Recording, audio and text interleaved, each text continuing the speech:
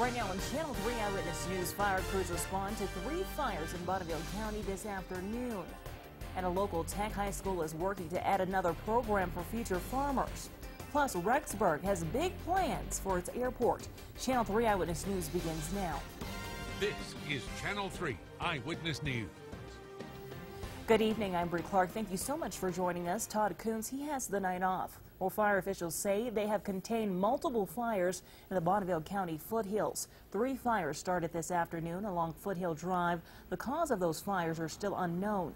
Fire officials say no structures are threatened, there are no evacuations, and no one was hurt. They are still taking precautions because of the dry conditions and wind. Right now we have uh, wildland firefighting units attacking the fire, and we have some structure fire protection units staged with water tenders in case this fire goes out of control uh, and threatens the structures on the hill. It's a pretty dry area. Johnson wants to remind people to be careful. He says anything can start a fire in these dry conditions.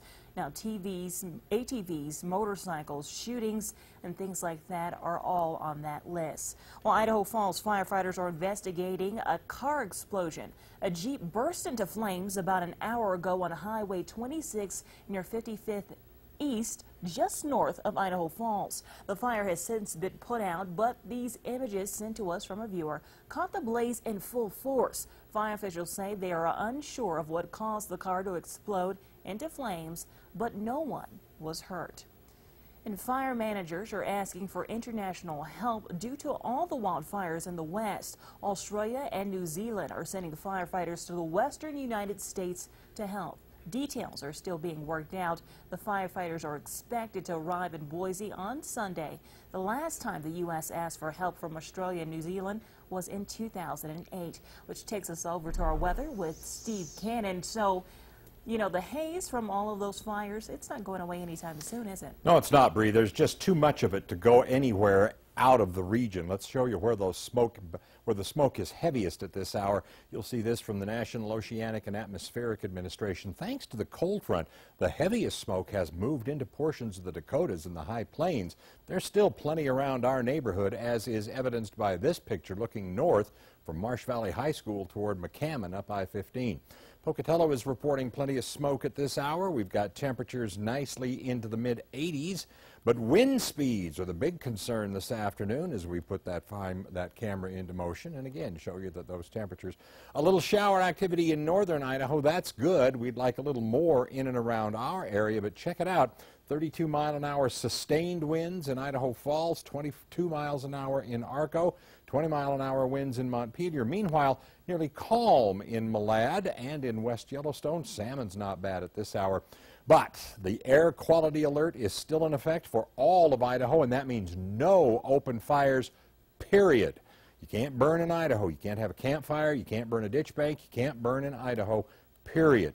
And the red flag warnings are still out for extreme fire danger, high winds, warm temperatures, gusty conditions, low humidity. So fire continues to be a major problem and the smoke and haze will remain with us at least for the weekend with cool temperatures though. In fact, tomorrow is going to get downright nippy uh, by summer standards. We'll talk to that come, about that coming up.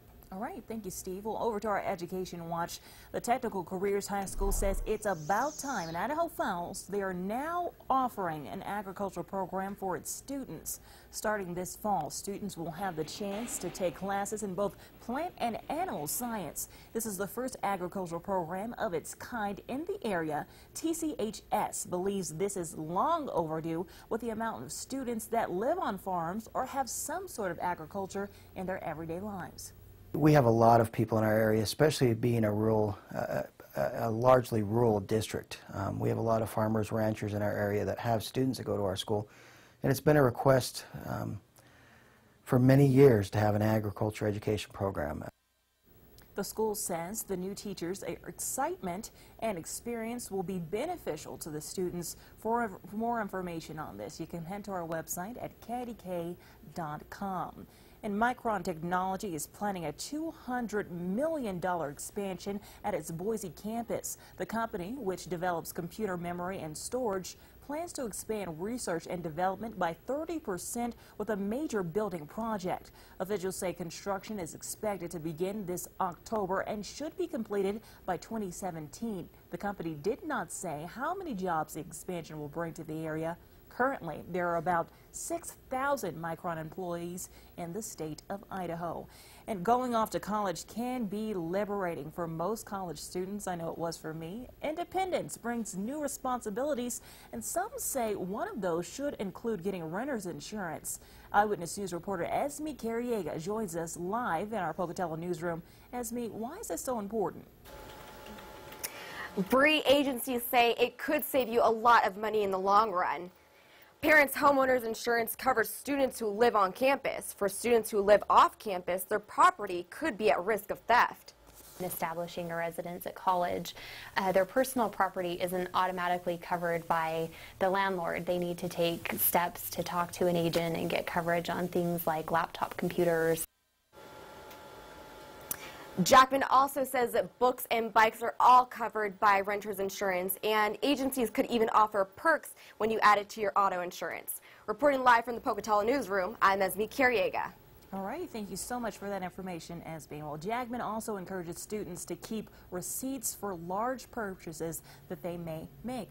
Well, the Idaho National Laboratory will soon have a new director. Battelle Energy Alliance has named Mark Peters as the new director. He will take over on October 1st. Peters succeeds John Grossenbacher, who announced in November he would be retiring.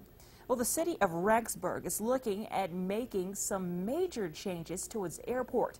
Eyewitness News reporter Allison Zimmerman, she stopped by the airport today and she joins us live in our newsroom. Allison. Bree, the city is looking at two proposals, either expanding the current runway or relocating the airport completely. And there's also the option of not changing the airport at all, which is currently getting some minor construction done to it. Since 1962, the Rexburg Airport has flown in jets on this runway.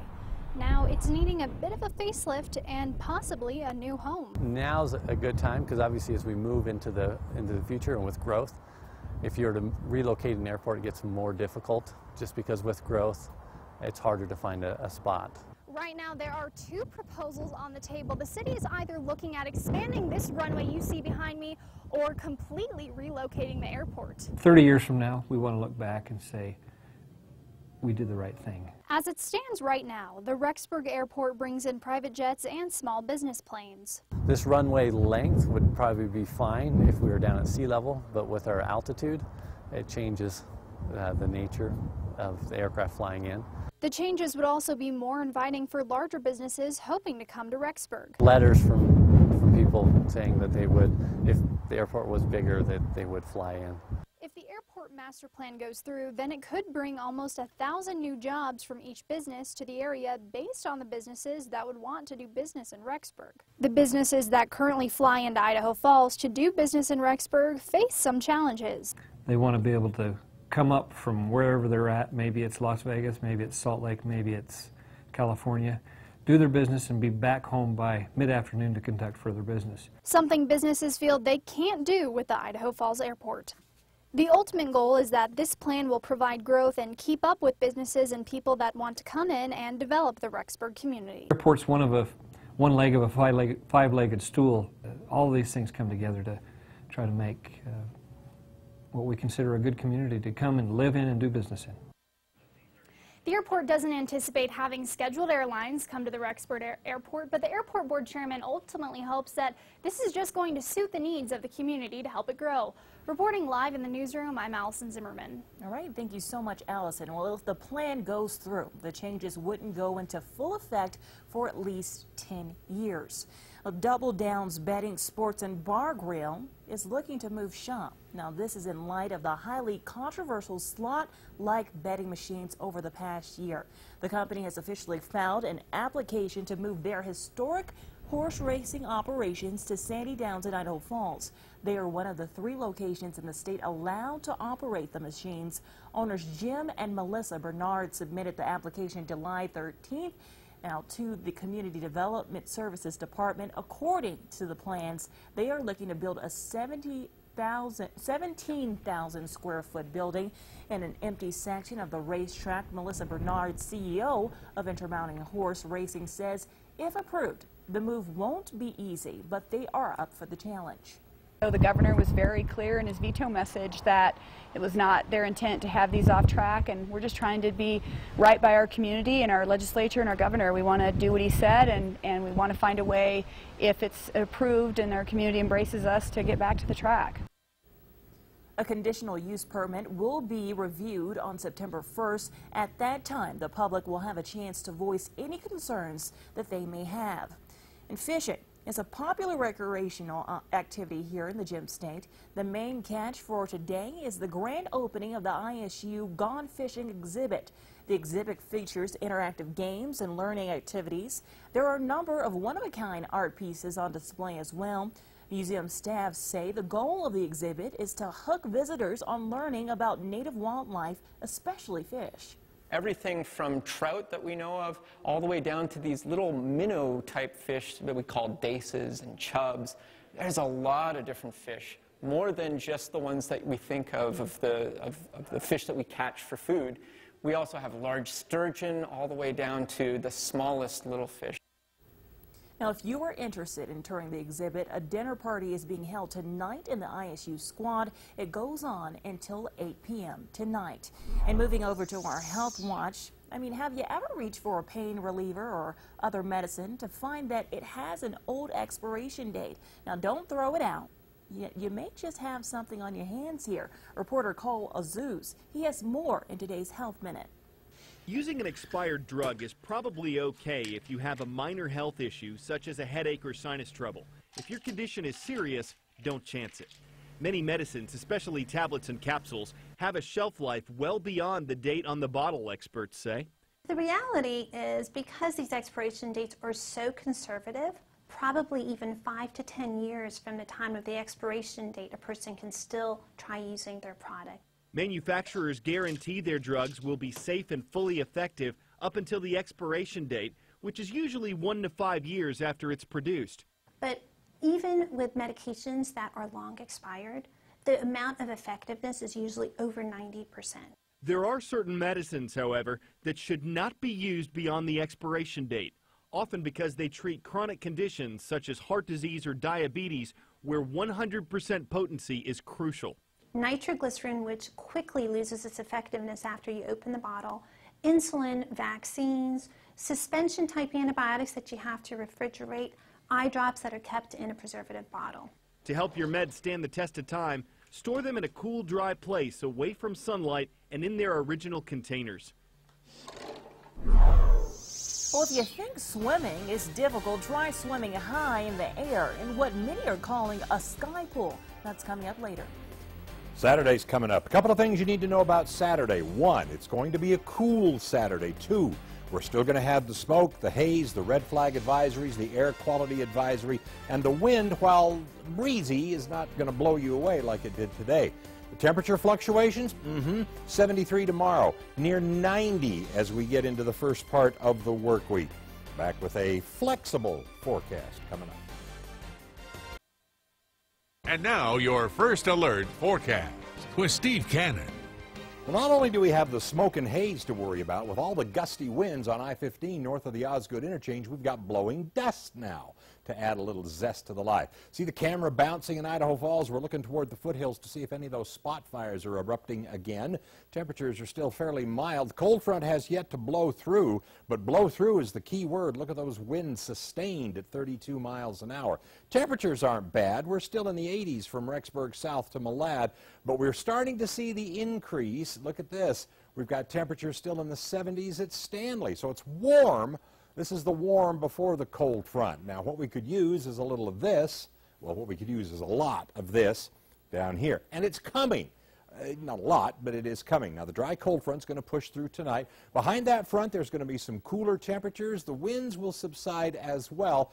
And check out Vipercast. It actually has a hint of some scattered clouds and showers in the neighborhood. Now, it's all east of the Continental Divide tonight.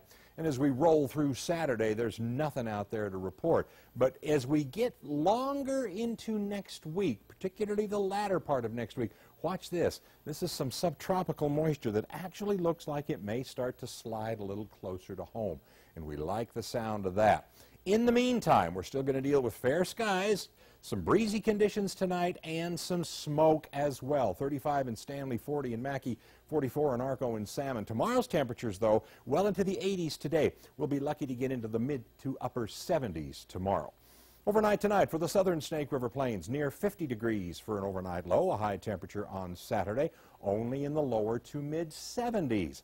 Again, with a lot of smoke in the neighborhood, not much in the way of cloud cover, however. We're expecting overnight lows to be in the upper 40s to low 50s tonight for the upper Snake River Plain. A high temperature tomorrow, again lower to mid 70s, 75 at the INL, about the warmest we'll find. Tonight it's going to be chilly in the high country, 34 in West Yellowstone, 41 in Island Park and Jackson. A high temperature tomorrow, only in the low 60s in West Yellowstone and Island Park, 66 in Jackson. We'll see 70s in the Upper Valley and overnight lows from 41 at Pinedale tonight to 52 in Preston. But check out tomorrow's highs, 67 in Pinedale and only 75 degrees in Preston. Don't worry, cool down won't last long. We're going to be back to 90 degree highs for Monday and Tuesday for the southern Snake River Plain. But Wednesday and Thursday, we could actually see a slight chance of a scattered cloud or shower in and around the neighborhood.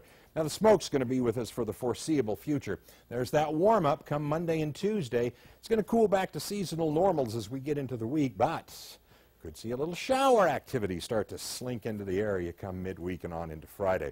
In the Upper Valley, a cool day tomorrow, a breezy day, not gusty, but breezy.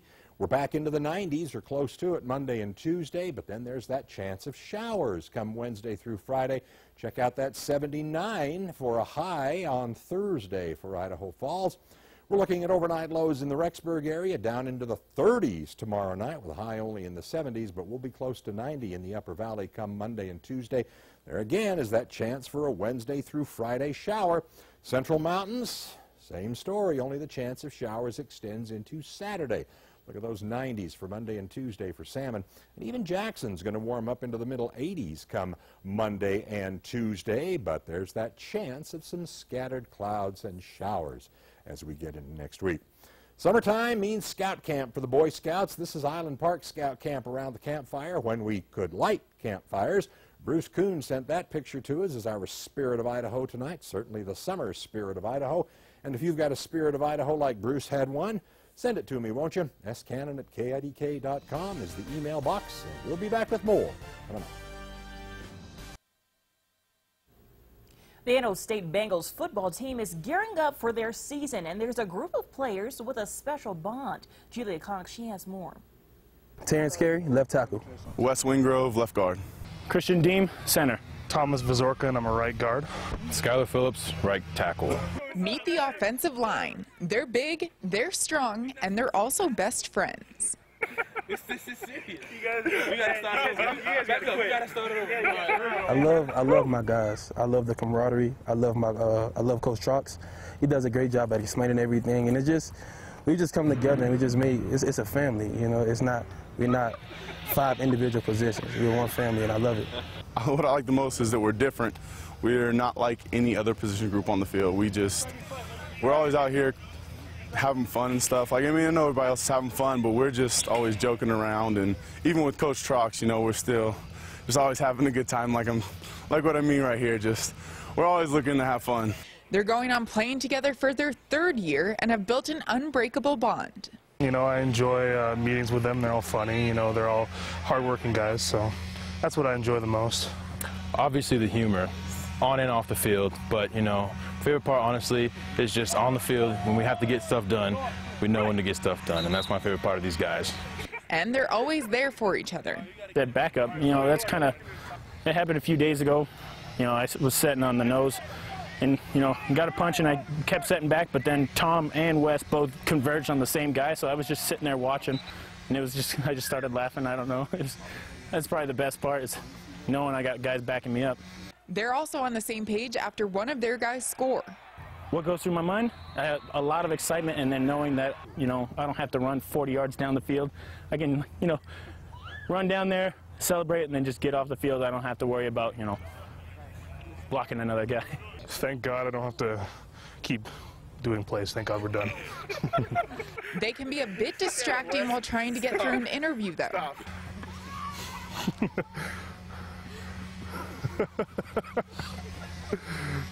Do they ever let anyone get through an interview without doing something? no, no, this is this is a regular thing. Um, they do this all the time. They're probably going to do it again. So. Right, flying high, floating in the clouds, one developer is taking this to heart for a new swimming pool in the sky. That's next on Channel 3 Eyewitness News.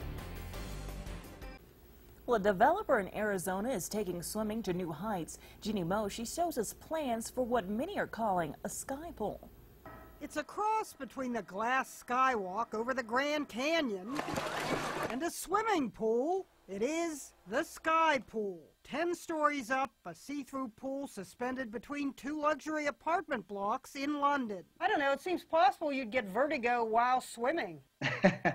Developer John Mulryan says that when his father first broached the idea, Well, we weren't really sure whether even it was possible. but after a year and a half of consulting with engineering and even aquarium experts, Mulryan says the sky pool is a sure thing.